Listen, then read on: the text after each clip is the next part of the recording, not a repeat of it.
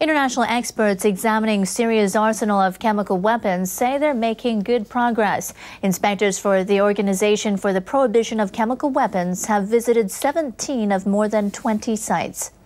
Spokespersons for the organization issued a statement explaining how the mission is going.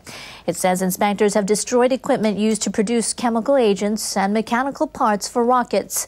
They were forced to postpone some checks last week for security reasons. But the experts say they're confident they'll be able to visit all of the facilities as planned by the end of the month.